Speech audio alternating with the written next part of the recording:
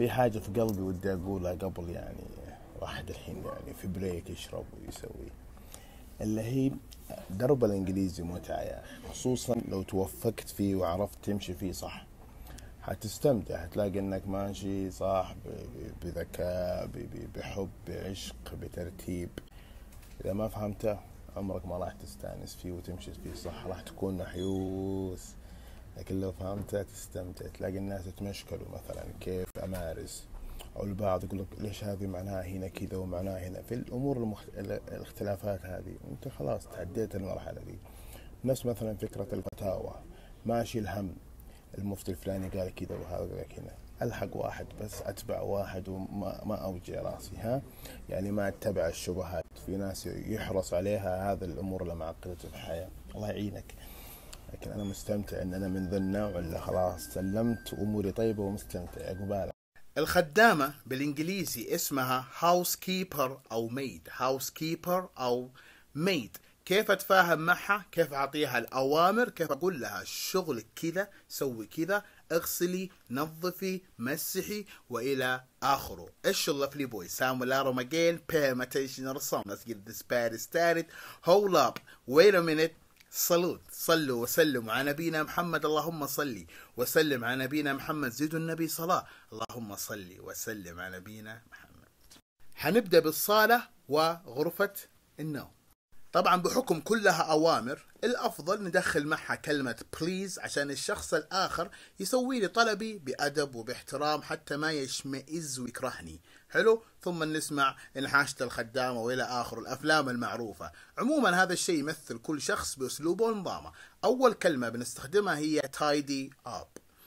tidy up هي نفس clean ف clean معانا معناها هي ثاني كلمة. clean بمعنى ينظف أو نظف. أقدر أقول لها clean please مثلا حلو؟ لكن tidy up معناها نظف ورتب. رجع كل شيء في مكانه. عيالي مثلا حاسوا البيت أقدر أقول لها إيش؟ tidy up the bedroom or tidy up the bed. معناها رتبي ونظفي السرير. ممكن على السرير في ألعاب العيال حاسوا الغرفة كلها ف tidy up ممكن إحنا في ال living room اللي هي الصالة أقول لها tidy up the living room يعني رجعي كل شيء في مكانه في غرفة المعيشة.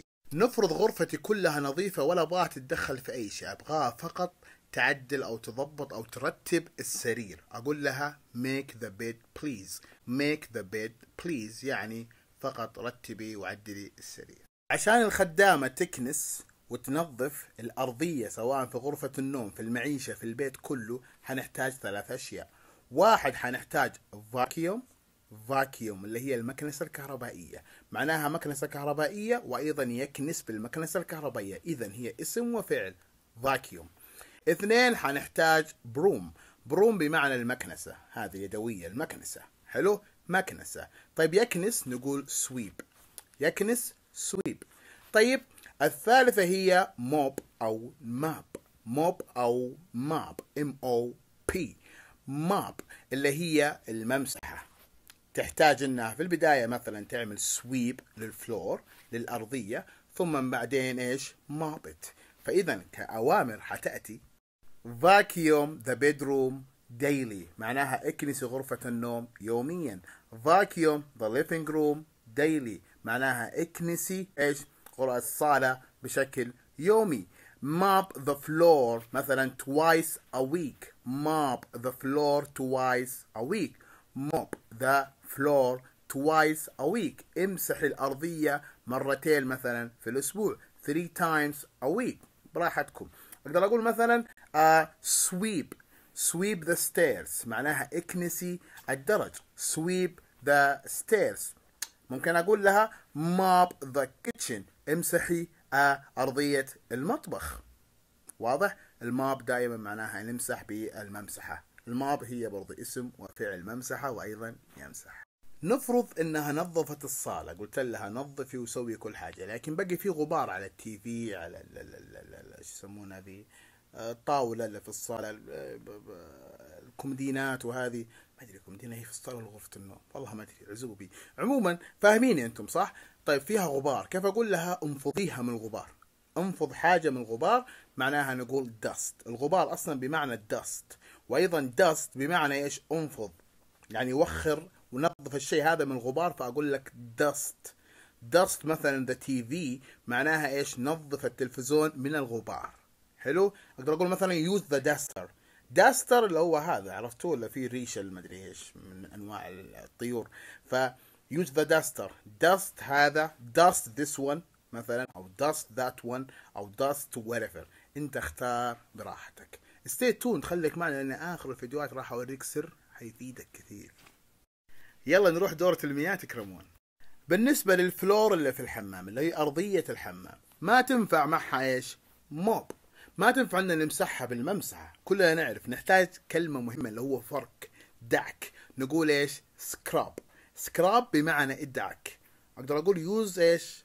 the brush. يعني استخدمي إيش؟ الفرشة. ف scrub the floor scrub the floor يعني إيش؟ ندعك إيش؟ الأرضية. scrub the floor ادعك الأرضية. هذا شيء مهم. خلاص الحين واضح. كل شيء في الحمام. حنقول scrub clean واضح. الحمام ما يحتاج فيه أي شيء. في ناس يغسلون ملابس في الحمام تكرمون. في ناس في المطبخ. ما أدري وين تحطون غسالتكم. الغسالة عموما بمعنى إيش؟ واشن ماشين واشن ماشين أبي أقول لها اغسلي الملابس. أقول لها إيش؟ do the laundry. Do the laundry laundry. أنت شوف النطق الكويس لك. Do the laundry. حلو؟ يعني اغسلي الملابس. كلمة laundry أو laundry من الكلمات العجيبة. هي معناها ها؟ معناها مغسلة. مو مغسلة اللي نغسل فيها يدنا. لا مغسلة نوديها نودي ملابسنا عندهم يغسلوننا حلو؟ أيضا معناها الثاني وهو الأهم من الأول اللي هو ملابس متسخة. معناها إيش؟ laundry. طيب إحنا قلنا نقول لها do the laundry معناها إيش؟ اغسلي الملابس المتسخة اثنين أبغى أقول لها مثلا حط الملابس في إيش؟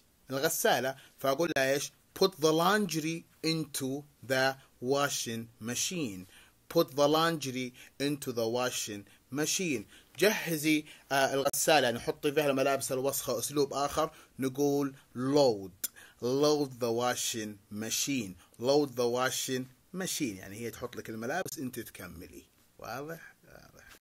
بديت الغسيل في البيت وانشغلتي أو بديت الغسيل في البيت وظهرتي من البيت. ثم ذكرتي ملابسك في الغسالة بتدق على الشغالة بتعطيها خبر تبي تقولي ميدا طلع الملابس من الغسالة. طلعيهم من الغسالة نقول لها إيش؟ unload. unload the washing machine. unload the washing machine. unload the washing machine معناها ظهر الملابس من الغسالة. طيب يا فتحية نبي نقول لك طبق الملابس. نقول إيش؟ Fold the clothes fold the clothes. الملابس أدري البعض ينطق التي اتش اللي في كلمه clothes إيش؟ Clothes. أدري هذه من أخطاء الشائع في النطق لكن براحتك انطقها زي ما تبغى حبيبي. Fold the clothes حلو طبق الملابس. طيب انشر الملابس نقول hang them on. مثلا close line. Close line بمعنى حبل الغسيل هذا للنشر. طيب لو أبغى تنشرهم داخل البيت مثلا برا تمطر فنسميها uh, rack close rack. Close rack اللي هي آه ما أدري وش يسمونها والله. آه والله ما أعرف. عزوبي والله ما, ما عندي ذي الأمور. هذا اللي تنشرون فيها ملابس داخل البيت. عرفتوها؟ إحنا عزوبية على الكنب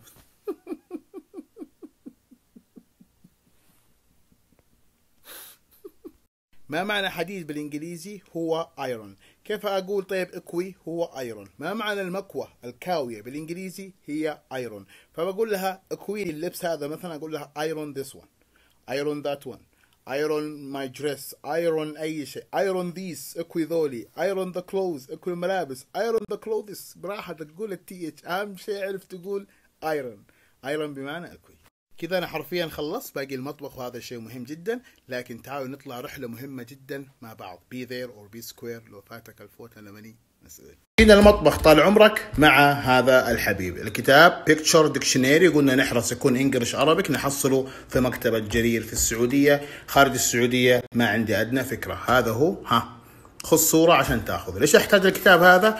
أنا الحين تعلمت الأوامر لكن أسماء بعض الأمور أنت ما شرحتها اسامي ما إحنا عارفينها. نروح في الكتاب هذا للفهرس. بسرعة بسرعة بسرعة بسرعة. ندور. حلو. أنا أبغى أروح وين وين وين؟ المطبخ صح؟ هذا المطبخ. ولا كيتشن. كم رقمه؟ 40 نروح لصفحة 40 وين 40 40 40 هذا إحنا جينا. هذا إحنا. هذا 40 كل شيء أنا أحتاجه في المطبخ موجود هنا.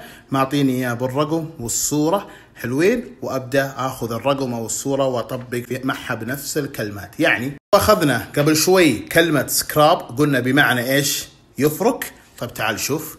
مكتوب مثلا رقم ستة اللي هي سينك. طبعا لا تحاول تقرأ زيي. حاول إنك تدخلها في قاموس لو ما عندك أصلا خلفية عن القراءة. دخلها في قاموس تعرف النطق. تعال رقم ستة هنا قال صح؟ تعال نشوفها. هذه هي ال sink. ابى أقول لها أفركي. أفركي. لا تغسليها بس ما أقول لها غسيل أقول لها clean the sink لكن أبي أبيها تفرك فيها. والله لحم في دم في زيت. فأقول لها مثلا إيش؟ scrub the sink يعني إيش؟ افرك المغسلة. وهلم جره خذ كل شيء تبغاه ظاهر أمامك. مطبخ كامل. الحياة بشكل عام. عشان كذا أنا أعطيتكم رؤوس الأقلام والتكملة عليكم. الكتاب هذا بالنسبة لي جنة. ما أقدر أتركه. طيب ليش جيت لين مطبخ عشان توري